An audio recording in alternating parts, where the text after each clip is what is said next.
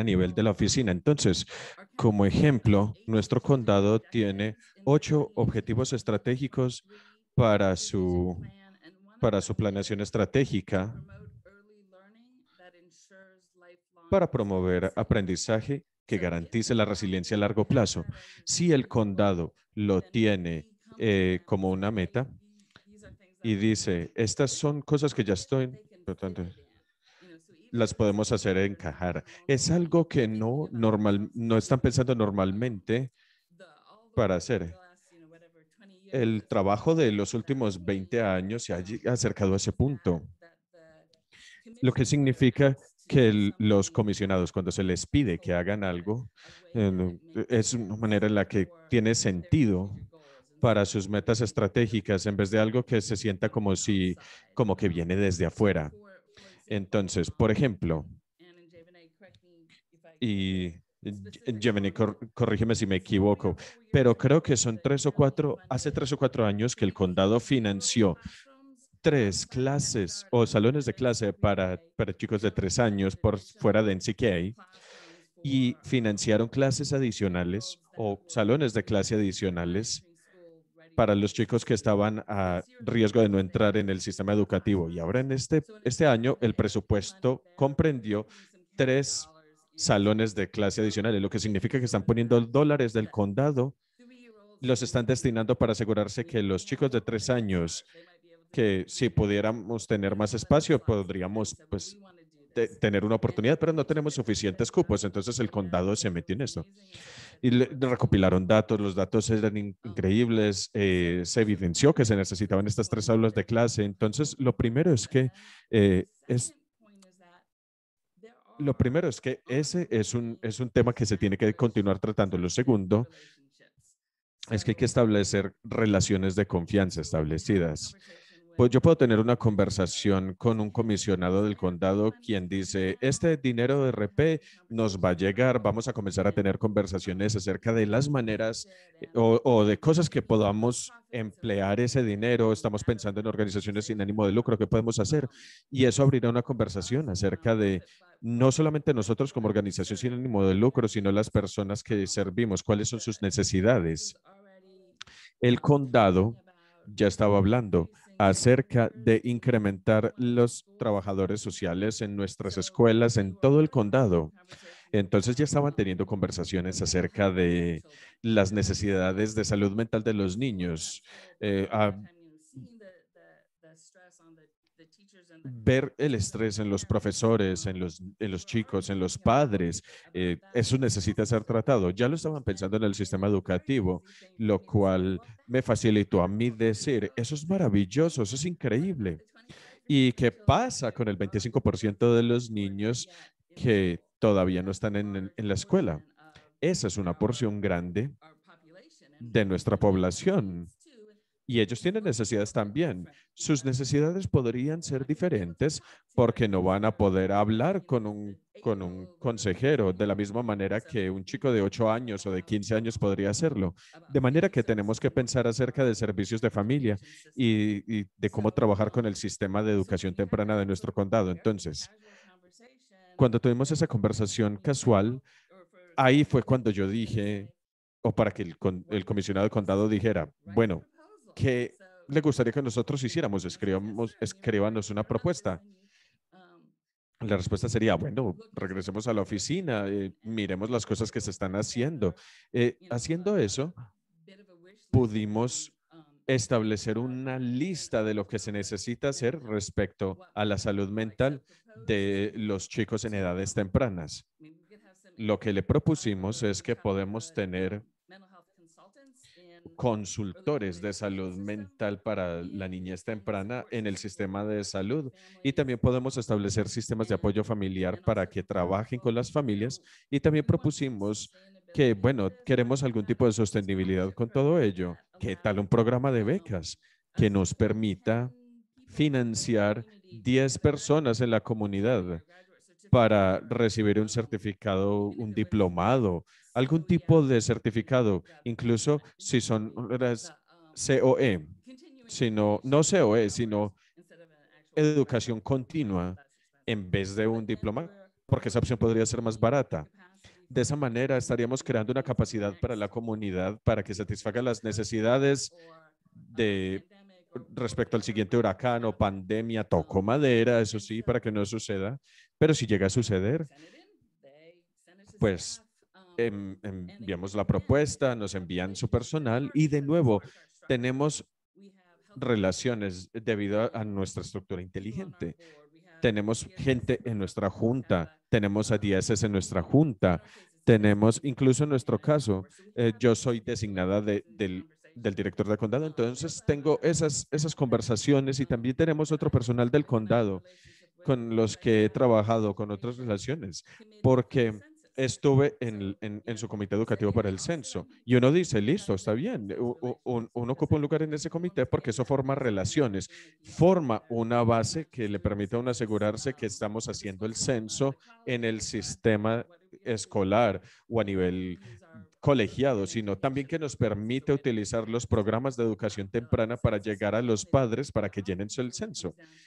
A menudo todas estas cosas se trata de relaciones podemos tener entonces una conversación telefónica con, con el personal del condado, quienes están organizando una propuesta para presentar a los comisionados para su revisión, así como también tener conversaciones, conversaciones de seguimiento. En el condado de New Hanover, el presupuesto ARP que tienen, que, acaban de aprobar hace dos semanas, creo que eso fue el 22 de junio, incluía casi 900 mil dólares para cinco especialistas en salud mental de la primera infancia que tenían que estar ubicados en el Departamento de Salud. Estas son personas o profesionales que trabajarán con las familias, con el sistema educativo, para poder propender por el proceso de educación continua y de servicios continuos con el Departamento de Salud para tener conversación con ellos acerca de cómo podemos hacer que eso suceda, cómo, cuáles son los servicios que ya están prestándose que podemos vincular a ese tipo de cosas. Vamos a estar también involucrados en ayudar se me olvida cómo es que va a lucir, pero tenemos algunos años también para terminar de detallar ese proyecto. También eh, que estamos pensando en compensar las credenciales de la, de temprana para propender por la salud mental de estos chicos. Estos planes todavía están en la etapa de ideas, pero nos encanta que el condado de New Hanover se mostrarán tan entusiastas con esta iniciativa. Creo que son el primer condado para, en aprobar ese proyecto con lo que nosotros queremos hacer. Y de manera muy energética, de manera muy entusiasta, eh, se, están dispuestos a ayudar a la comunidad. Estamos emocionados para ver qué podemos hacer por la niñez temprana los siguientes años. Eso es la historia y me encantaría que la gente hiciera preguntas o que intervinieran con con cualquier cosa que quieran preguntar, que tengamos una conversación entre sí también, no solamente conmigo. Jane, muchísimas gracias por compartir eso. Y sí, la idea es abrir este momento un espacio para preguntas, para ver si tenemos preguntas para Jane. Por supuesto, ustedes las pueden poner en la ventana de chat. Si alguien quiere hablar en este momento, ya pueden hacerlo.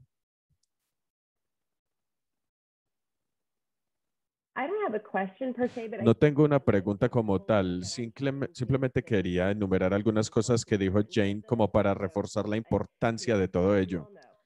Como todos ustedes saben, hay mucho dinero que nos está llegando de los fondos ARP a sus comunidades localmente. Son dineros que nos vienen a nivel del municipio, a nivel del comisionado del condado. Y lo que escucho que dice Jane, que yo creo que es muy importante, es utilizar esas relaciones existentes que todos ustedes tienen, que tiene la Junta, que tiene la agencia Sister Partner para poder hablar con los comisionados del condado y otros funcionarios electos y tomadores de decisiones acerca de las decisiones de la comunidad.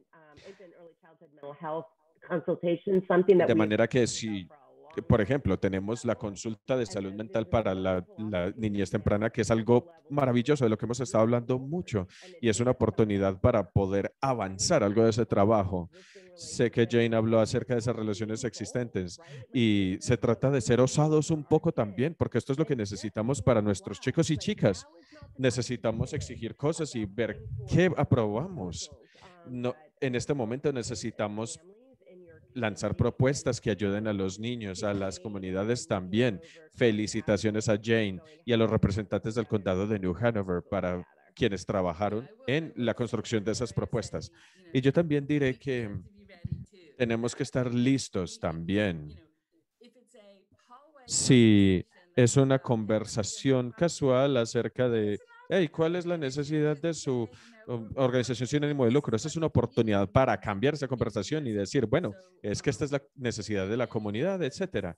Hay que tomar partido de esos, esas cosas que pasan por azar, esos encuentros fortuitos. Y definitivamente podemos establecer una propuesta porque tenemos, como dijo Michelle, hemos, lo hemos estado pensando durante mucho tiempo. Por lo tanto, podemos podemos entrar a trabajar de una vez, en vez de que que nos digan, bueno, eso suena muy lindo, pero no sabemos qué hacer. Si tenemos un plan, la propuesta va a ser diferente. De esa manera podemos tomar partido de la oportunidad cuando se presente porque tenemos algo de idea respecto a cuáles son las cosas que necesitan las comunidades o nuestra comunidad. Y no requerirá muchas búsquedas en Google para ver muchos artículos sobre estrés parental, particularmente por parte de las madres. Entonces no va a ser difícil expresar o articular las necesidades del desarrollo socioafectivo en los niños en este momento. Claro que sí. Parece que tenemos algunas preguntas en el chat. Buena, Michelle. Betsy McFarland tiene una pregunta. Cuando uno es una organización sin ánimo de lucro más pequeña, ¿cómo hace uno para tener acceso a esa mesa de diálogo? Hay muchas organizaciones sin ánimo de lucro que llenan brechas eh, importantes. Eso va a estar en la presentación que yo voy a dar en un minuto. Entonces, Jane, si quieres hablar algo al respecto. Eh, yo creo que nosotros tenemos, las, tenemos mucha suerte de muchas maneras debido a quién tenemos en nuestra junta. Sabemos que las organizaciones sin ánimo de lucro se les dificulta estar en esa mesa de diálogo y también se les dificulta ascender. No quiero hablar por nadie personalmente, pero um, en mi caso yo no era una cara nueva cuando estaba hablando con el personal del condado, porque ya había estado en otros comités. Se trata de, de no sé, de adelantar trabajo para construir esas relaciones para poder tener presencia en, juntas, en comités, ese tipo de cosas, para que sepan qué es lo que está sucediendo. Excelente. Tenemos una pregunta más. Greg quiere saber, dijiste que el condado ya pasó un presupuesto entero para los dineros de ARP. Sí. Entiendo que somos el primer condado en aprobar es en aprobarlo. Creo que fue en junio 22. Ya tenemos un plazo y ellos no quieren excederse. Definitivamente entonces están más adelantados en ese aspecto. Excelente. Jane, muchas gracias por tomarte el tiempo de compartir con nosotros. Hoy, ahora vamos a escuchar de Lila Patterson ella es una fellow del FUSE de la ciudad de Durham. Nos va a hablar del trabajo tan maravilloso que ha estado adelantando. Tienes la palabra, Lila. Gracias, Tiffany. Hola, soy Lila. Estoy muy feliz de estar aquí. Como lo dijo Tiffany, soy fellow ejecutiva que trabaja con el municipio de Durham yo vine a esta organización a través de FuseCore. Es una organización sin ánimo de lucro nacional y previamente estaba trabajando en el Centro de Justicia de Carolina del Norte con muchos de ustedes. Entonces voy a traerle la perspectiva de estar en el lado de la representación, ahora estar en el lado de la implementación. Entonces estaré complacida de hablar acerca de las sutilezas que hay entre esos dos lados. Voy a compartir mi pantalla para mostrarles acerca, para mostrarles lo que hemos planeado en cuestión de interacción con la comunidad y el proceso de toma de decisiones de los dineros de RP. Durham expresa que la interacción con la comunidad iba a ser importante para garantizar que estos dólares federales llegaran hasta las personas que más lo necesitan. Por lo tanto, creamos esta landing page, como ustedes pueden ver aquí. Si ustedes van a la página web de la ciudad de Durham y ustedes ponen el motor de búsqueda American Rescue Plan, les va a salir esto. Voy a pausar para el intérprete. Disculpa si estoy hablando muy rápidamente. Entonces, como pueden ver, la ciudad de Durham recibirá más de 50 millones de dólares como parte de, sus regalías, de 52 millones de dólares para ser precisos. Solo para enfatizar lo que estaba diciendo Michelle, ese es un influjo de dinero enorme, es un cuarto del presupuesto total de la ciudad en forma de una financiación de una sola vez que representa una oportunidad para el cambio transformativo. La manera en la que está, lo está pensando la ciudad es como si fuera un pago adelantado o una cuota inicial para la transformación permanente. Es muy importante recordar entonces que este, este pago no es recurrente. Las ciudades lo están pensando en estos términos. ¿Cómo podemos utilizar ese dinero? Porque es un gasto de una sola vez, es un pago de una sola vez muchas ciudades, o al menos en Durham, eh, lo van a utilizar para hacer proyectos pilotos de diferentes iniciativas y que se puede sostener con el presupuesto de la ciudad. Si estamos haciendo presupuestos, les recomiendo pensar en esa perspectiva. Miren que estos son dólares, un influjo de dólares de una sola vez que recibirán muchos condados que no se van a sostener a través del tiempo la ciudad y el condado juntos van a recibir más de 100 millones de dólares. El condado de Durham va a recibir 62 millones de dólares. Diferentes ciudades y condados están trabajando en, en mancomunado, coordinadamente o no, y con esto probamos que hay varios puntos de acceso del gobierno. Así que hay que contactar a, la municipalidad, a la oficina del alcalde, así como también la oficina del condado. Tenemos aquí algunos apoyos para gastos públicos. Eh, se va a hablar los impactos económicos de la pandemia, cuáles son las comunidades que han sido golpeadas más duramente por la por la crisis, así como también inversión en infraestructura de alcantarillado y de, de suministro de agua. Yo sé que muchos de ustedes tienen un interés en esa infraestructura en particular.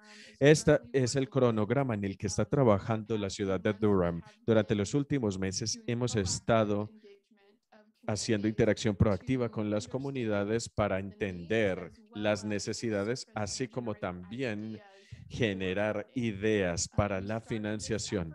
Comenzamos este esfuerzo con un evento junto con la Universidad Central de Carolina del Norte. Hablamos de las necesidades de las comunidades. Tuvimos también sesiones de trabajo en grupo en el que los residentes tuvieron la posibilidad de hablar acerca de sus necesidades, así como también proponer ideas acerca de cómo gastar estos dineros. A futuro tenemos algunas maneras de interactuar. Vamos a tener otro evento en el campus central enfocado en los estudiantes y también tendremos una encuesta. Si ustedes hacen clic en este link ahí, los va a llevar a una encuesta en las que se les va a hacer preguntas acerca de ideas y de necesidades. También tenemos una dirección de correo electrónico en la, mediante la cual le pediremos a las personas enviar propuestas más sólidas. Esta es la plantilla que le pedimos a las personas que utilicen para, para enviarnos sus propuestas. Ustedes mismos lo pueden hacer. Ustedes siempre podrán enviar sus propias ideas sus propias propuestas o ideas para contacto, a sus contactos o a sus relaciones dentro de su gobierno local. Y en la parte final de la página tenemos un par de recursos que utilizamos para conectar a la gente con ciertos recursos. Quiero también llamar su atención a algo que probablemente hayan visto y es esta caja de herramientas, entre comillas, de Policy Link. Estamos utilizando esta caja de herramientas para construir propuestas. Esto les dará una idea acerca de los criterios que se utilizarían para evaluar qué propuestas se proceden, con qué propuestas se siguen adelante y qué propuestas recibirán financiación por parte del Consejo Municipal. Eso es un recurso para ustedes. Y en el chat también les voy a dejar un enlace a la encuesta que va a ser actualizada hoy. Tenemos también un enlace a la versión en español de la página web. Esos links se los vamos a dejar en el chat porque queremos mejorar también el acceso lingüístico y acceso con personas, a personas con diferentes habilidades. Esos son algunos de los esfuerzos. Ahora, también quiero traer a su atención algo más. Debido a que la ciudad de Durham tiene un presupuesto participativo, nos pareció importante apalancarlo como oportunidad para poder interactuar con personas que han han tenido lugar en el proceso de presupuesto participativo y que vuelvan a interactuar en las oportunidades de financiación de rescate económico. Este es un correo emitido a los residentes de Durham que se vieron involucrados en el presupuesto participativo ayer con enlaces acerca de cómo participar y de nuevo con esa plantilla. Lo dejaré aquí durante un momento en caso que alguien quiera escanear este código QR. El código QR en pantalla los va a llevar directamente a la encuesta mediante la cual ustedes le podrán proporcionar ideas al municipio respecto a oportunidades presupuestales a través del American Rescue Plan.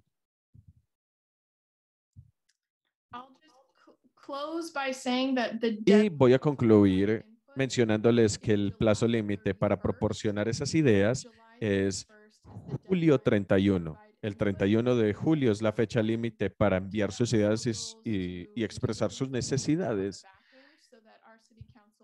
Tenemos ese plazo para que podamos votar eh, las propuestas. El 9 de septiembre habrá una reunión del Consejo Municipal. El 9 de septiembre van a hablar y votarán acerca de esas oportunidades presupuestales. Muchas gracias. Genial, Lila. Muchísimas gracias por compartir con nosotros. Ahora voy a abrir este espacio para preguntas. Eh, uy, tenemos, y, está explotando la ventana de chat. Eh, está llena de peticiones de, enlaces. Eh, Lila, eso fue genial. Es muy emocionante ver qué tan proactivo está haciendo Durham para poder interactuar con los residentes. Para que ustedes lo sepan, enviamos un correo electrónico con todos los enlaces, videos de la presentación en inglés y en español. Michelle acaba de darnos el enlace a, el enlace a Policy Link y vamos a ver si tenemos preguntas. E, eso es todo. Muchas felicitaciones también a Lila y a Jane por esa información tan genial que nos han estado compartiendo y por su trabajo. Fantástico. Bueno, ahora es hora de escuchar de nuestro último ponente del día. FunPads en persona. Entonces, Stefan, tienes la palabra. All right, so um, I have a PowerPoint. Um, Tengo una presentación de PowerPoint. Soy Fun Pattison. Soy la directora de campaña aquí en NC Child. Y quiero comenzar mi presentación eh, expresando mi agradecimiento a Adam Sutok, nuestro director de publicaciones, por el material que van a obtener el día de hoy. Todo esto es parte del trabajo de Adam y en este momento está en vacaciones. Estamos muy felices, estamos muy felices por ello, pero también nos sentimos tristes de que no esté con nosotros porque siempre él ha estado a cargo de la interacción con nuestro equipo RP y con la comunidad.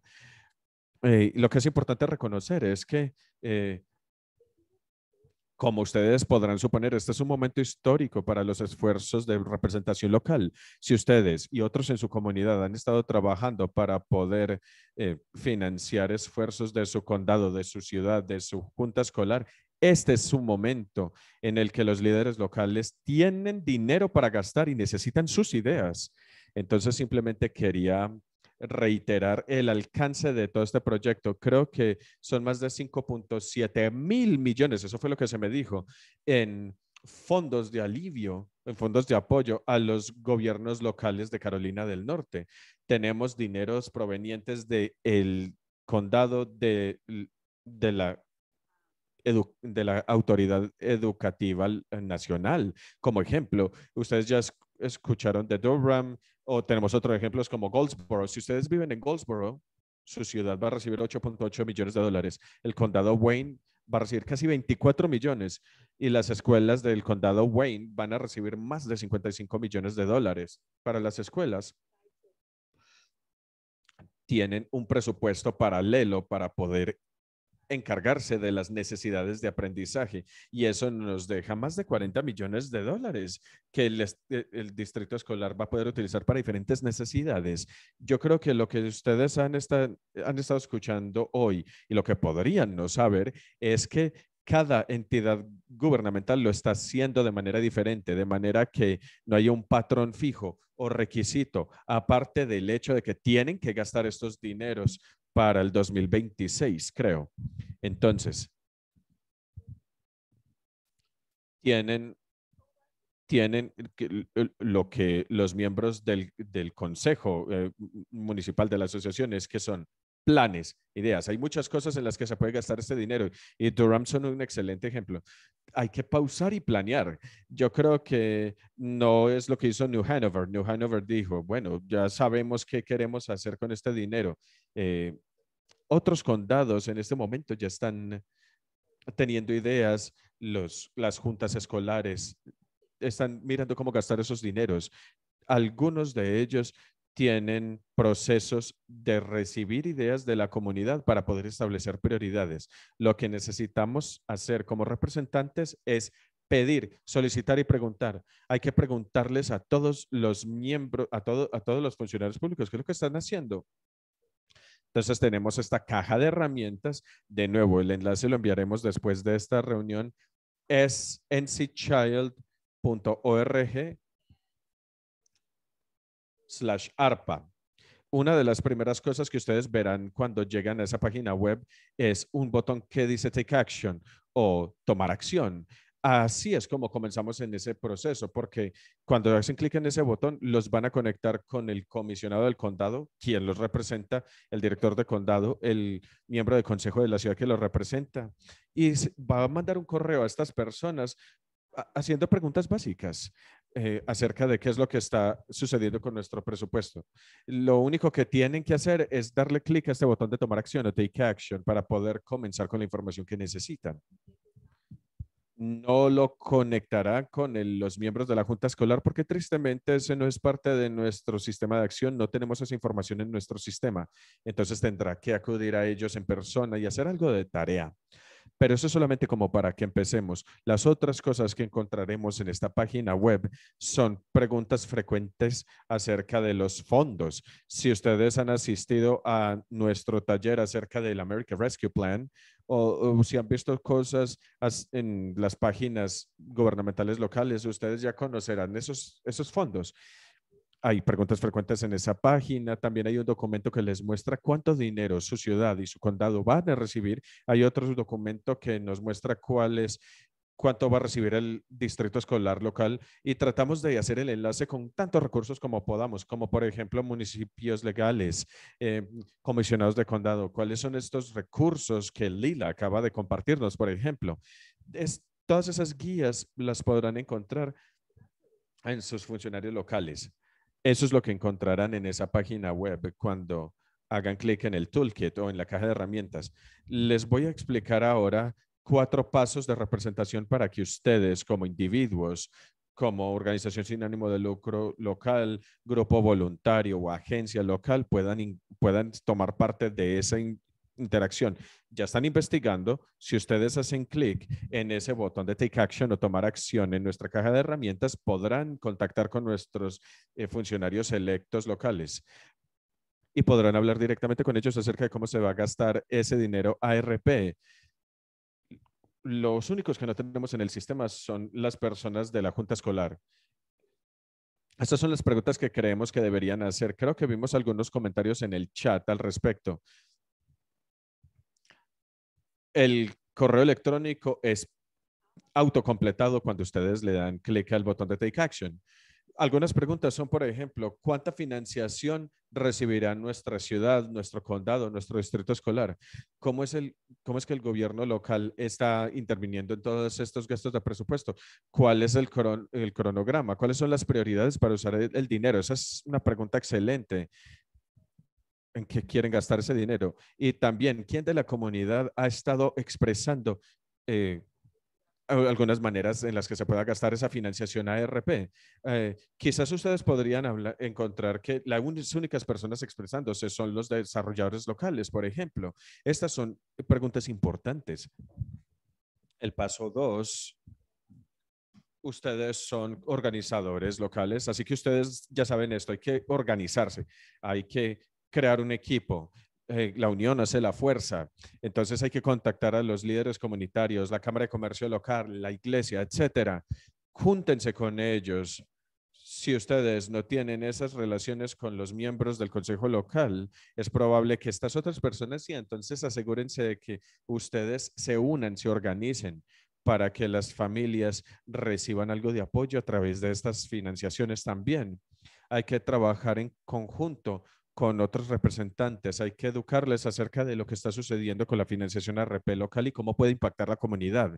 Esto nos ayudará a descubrir si hay otros grupos que ya están tomando acción o que ya están trabajando en estos temas. Algo que queremos animarlos a hacer es que mantengan a Adam Sotak informado. Adam Ustedes saben que él es un gran conector y está tratando de hacerle seguimiento a todo lo que está haciendo todo el mundo localmente respecto a la financiación de American Rescue.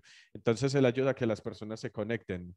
Por ejemplo, esta persona, esta persona y esta otra persona les interesa eh, proyectos de vivienda de bajo costo. Adam los va a poder conectar para con las personas que trabajan en ello. Entonces, mantengan a Adam informado. Su dirección de correo electrónico está aquí. Como ya les dije, está en vacaciones, pero va a regresar muy pronto y les va a ayudar a ustedes a conectarse los unos con los otros.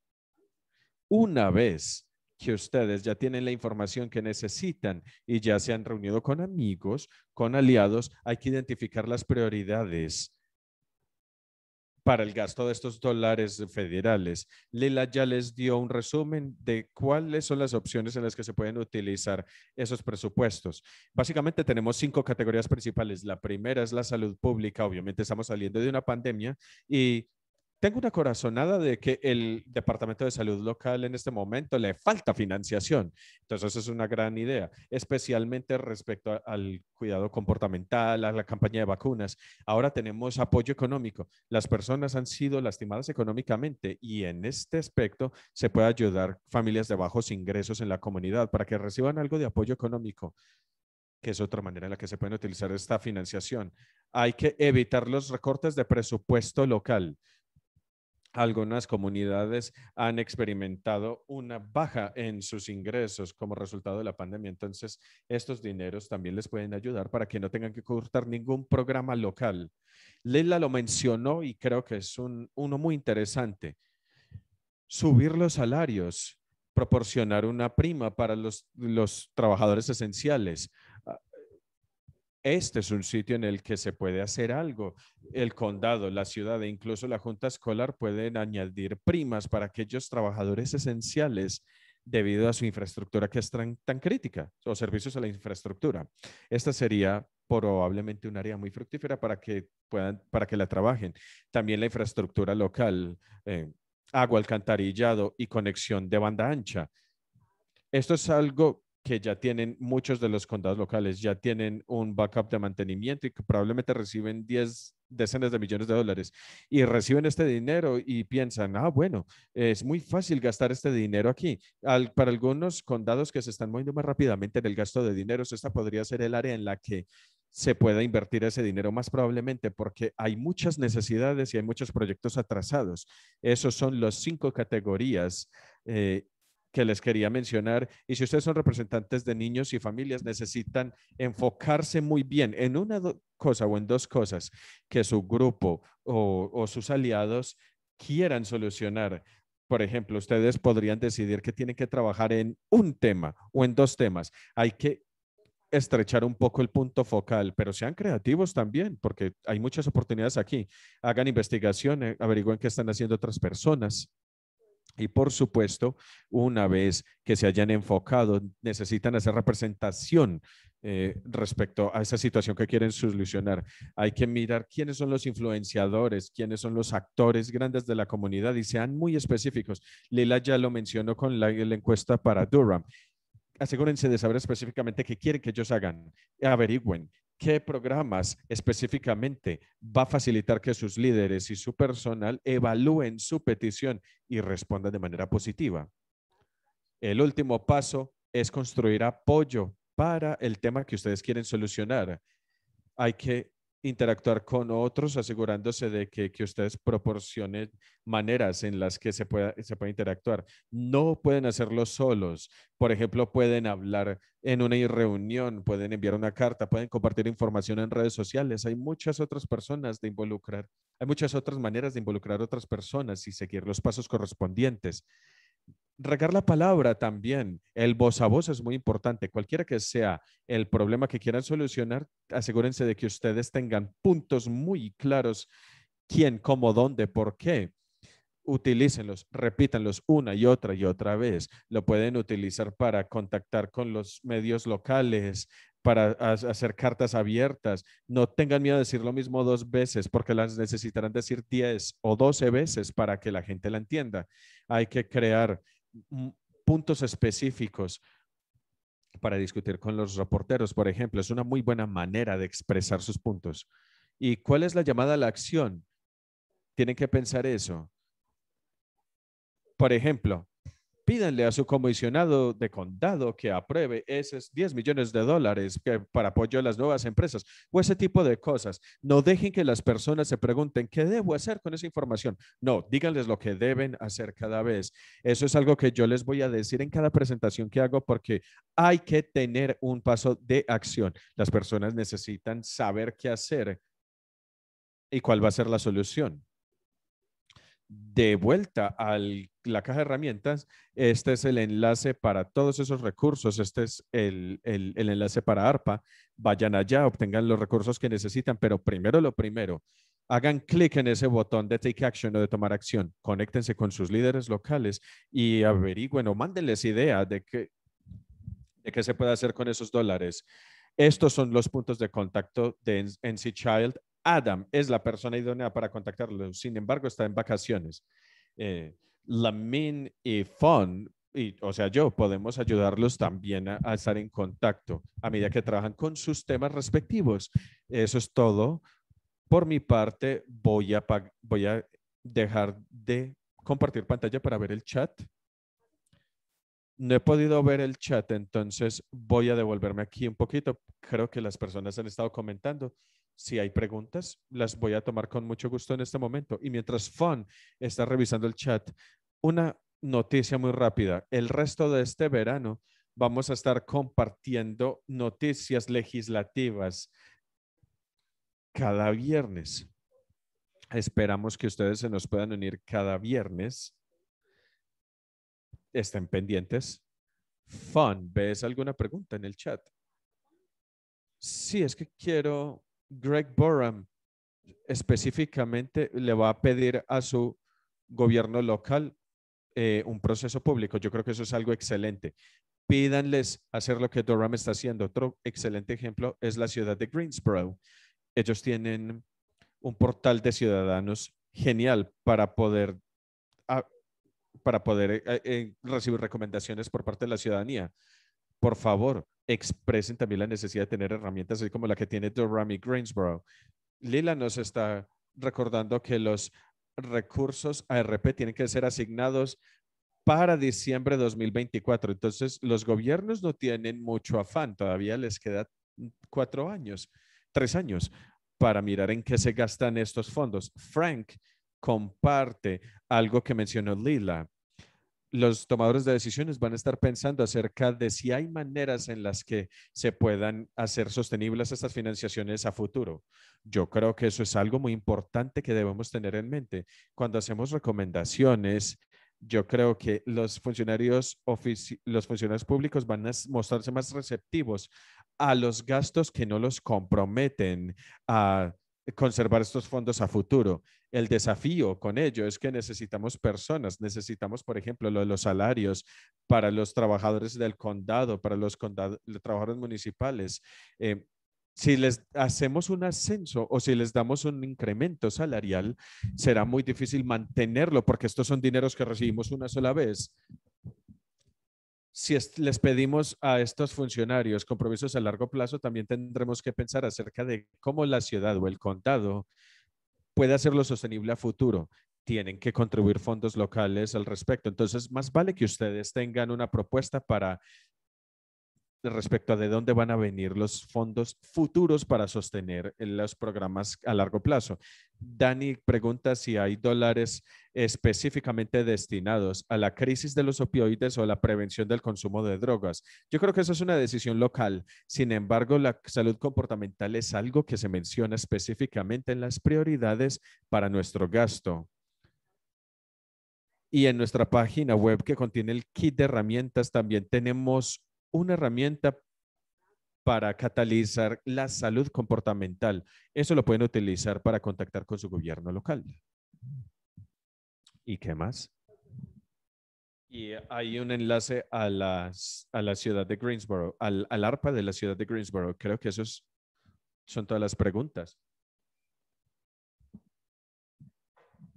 Greg dice que él hizo su propio análisis de presupuesto como parte de su petición.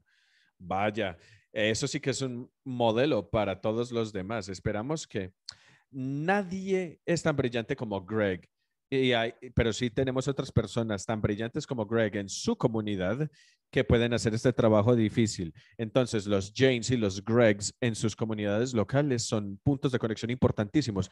Yo creo que Adam no los puede ayudar con pasos de baile, pero Greg sí, también. Entonces, quizás al final prenderemos música para que bailemos.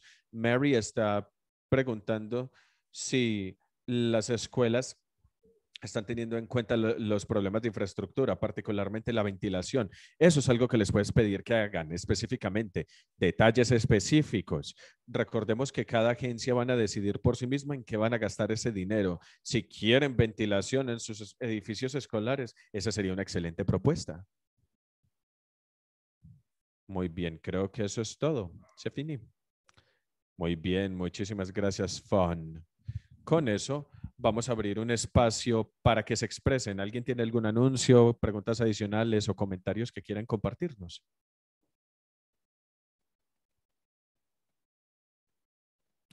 Yo quiero hacer un anuncio rápido. La siguiente semana, Liven y yo ya estamos haciendo representación en persona y junto con nuestros colegas en la, en la Partnership Coalition, va a haber un evento de representación el 18 les voy a mandar un enlace en el chat. Si pueden venir, sería genial. Tienen estipendios disponibles para personas que vayan a viajar. La coalición los va a estar contactando con el link que vamos a dejar en el chat. Si tienen alguna pregunta, conéctense por favor, conéctense conmigo también. Eh, yo estaremos allá representando la niñez temprana, entonces esperamos verlos allá. Melissa, veo que levantaste la mano. Sí, quería anunciar que he estado trabajando en propuestas con los servicios de salud humana. Ya estamos incluidos en la CDC como personal de apoyo para niños que sufren de COVID o otros eh, problemas autoinmunes. He estado trabajando también a nivel federal con One COVID Alliance para presentar propuestas de cambios en la política pública. Y lo que estaríamos haciendo a nivel nacional es que vamos a hacer iniciativas para presentaciones de regreso a clases con nuestros recursos. Pero ya que yo estoy aquí en Carolina del Norte, si a alguien le interesa, voy a compartirles mi dirección de correo electrónico en el chat de manera que una vez que todo se complete y se coordine y se programe, si a ustedes les gustaría unírsenos, me encantaría, me encantaría que me contactaran, especialmente porque estamos trabajando con en un área rural. Como ya lo mencioné, estábamos trabajando con el Departamento de Educación y también AHS con esto. Muy bien, muchas gracias por compartir. ¿Alguien más? Quería simplemente mencionar algunas cosas acerca que, que mencionan las personas eh, sobre la investigación. Hay muchas maneras en las que se puede gastar esos dineros. Entonces, entre más planeen, eh, mejor, porque tienen que asegurarse de que no pidan cosas que no sean permitidas. Eh, y FON tiene algo en, su presentación que me motivó a decir eso. Y es lo siguiente, si ustedes pueden conectar sus ideas con algo que, con algún proyecto que ya esté en, proceso, em, eso sería mucho mejor. Solamente un par de cositas que se me ocurrió que podrían ayudar a que tengan esas conversaciones, a que tengan conversaciones más fructíferas también. Excelente, muchas gracias Jane. Veo que Kathleen nos mencionó que PBS NewsHour va a estar presentando va a estar presentando una serie sobre la salud comportamental en la niñez temprana desde el lunes 12 de julio. Tenemos uno de Betsy. ¿Algún énfasis en particular? ¿Algún énfasis en particular en de este gasto sobre temas de igualdad? Bueno, no es, no es algo que se comprende en esos planes de gasto, pero definitivamente es algo que, que ustedes pueden expresar. Lila, de hecho, ya nos publicó un enlace acerca de algunos programas sobre igualdad eh, y va a ser parte de los materiales que les enviamos hoy. Entonces allí van a encontrar el enlace. Narali, veo que tienes la mano levantada. Sí, muchas gracias. Se me acaba de ocurrir que también quería compartir algo de que Fon dijo, ser creativos. Las categorías que nos presentó Font son muy grandes, son muy generales. Los usos son grandes. Yo trabajo con Healthy Staff. Es un programa de 0 a 3 que se encarga de ubicar especialistas en el desarrollo de la niñez, en donde se les necesita para propender por la salud emocional. Uno de mis colegas que está trabajando en Carolina del Sur recibió financiación acerca de, del presupuesto de la Superintendencia de, de Escolaridad del Estado. Ese es el tipo de creatividad que necesitamos. Alguien en una práctica pediátrica está siendo financiado por el sistema escolar para poder construir resiliencia emocional. Eso podría ser increíble y podría tener un impacto a largo plazo muy interesante. También están trabajando con planes de sostenibilidad para llevar esos planes adelante. Si alguien quiere más información, estaré más que feliz de compartírselas, pero solamente un ejemplo de los usos creativos que podemos que podemos, de los que podemos echar mano para estos gastos presupuestales. Narali, muchas gracias por compartir eso. Es un ejemplo increíble. Muchas gracias. ¿Alguien más?